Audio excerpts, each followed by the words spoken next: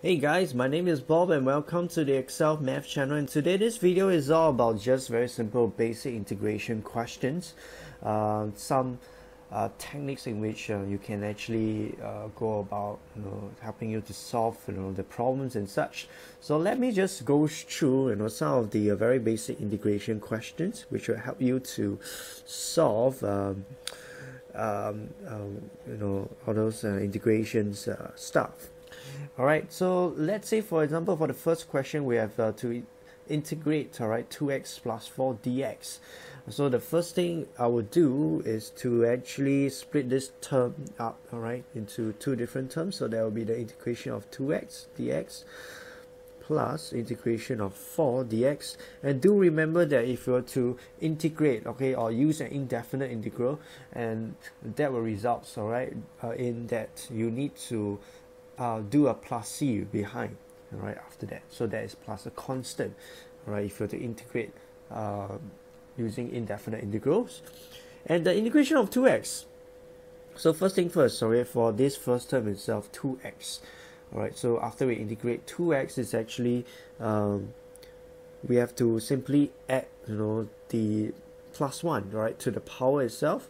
So that will be 2x um, square because this is x to the power 1 and we plus 1 it becomes x squared at the same time we have to divide by the power so that will be divided by 2 right so this 2 represents from the power itself.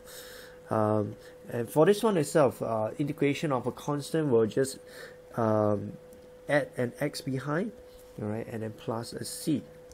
So what we will get okay for this question is we just need to cancel the terms. You will get x squared plus 4x plus C.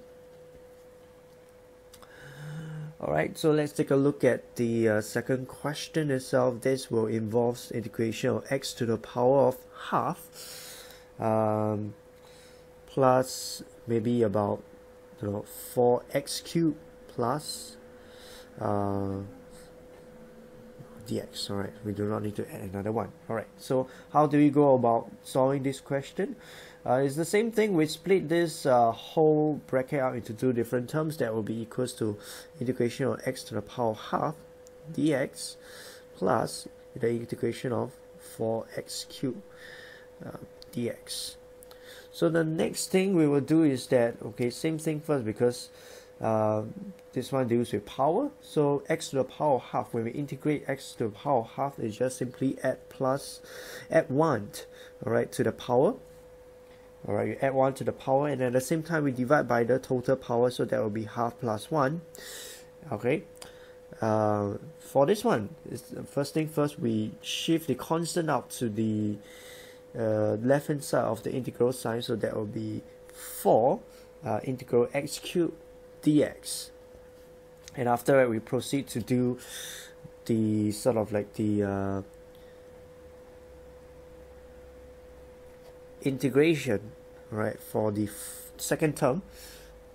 So we know that when we do with the power itself we have the plus 1 oops this integral is supposed not supposed to be there.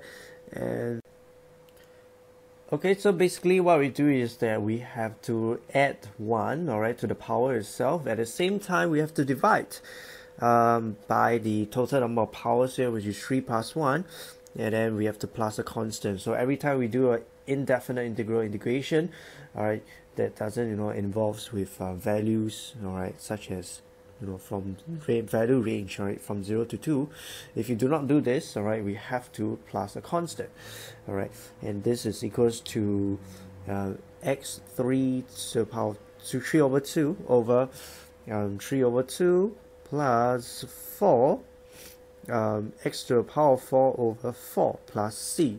So we can do the cancellation down here and we flip this up to, to the numerator. So anything divided by, um, for this one, it divides by 3 over 2, it becomes 2 over 3 x to the power 3 over 2 plus x to the power 4 plus c. Alright, so this is uh, another kind of problems that we have one more uh, examples for you. I mean, for for this uh, integration. So imagine, alright, if you were to integrate uh, one over x, you know, plus 2 dx. This one is a big special, right? So as long as, okay, if you were to um, deal with this, right? First thing first, I would, you know, convert it, you know, into sort of like an indices. So in this case, if it is, you know, uh, x plus 2 to the power of negative 1 dx, right? So you have to remember this, any um, terms or, or, or, any equations that has a power of neg negative 1, when you integrate it, okay, you will actually get back ln. So and for this example itself, you actually get back ln um, modulus x plus 2 uh, plus c. So this is actually the answer itself. So uh, here is a small little trick down here. As long as the power itself is negative 1, when you integrate back, it's actually equals to just ln itself. Right, so there is this absolute sign here. So why is there an absolute sign here? Is because this whole chunk has to be positive, all right, uh, in order you know for you to evaluate ln all right? So this whole thing down here has to be positive in order for us to be able to calculate okay the ln so if this this is negative you will not be able to calculate ln so that's why this absolute sign here it's uh, pretty important all right so that's about it for today and this is uh, some of the uh, questions on basic integrations. So always remember, okay, when it comes to basic integrations, you have an indefinite integral.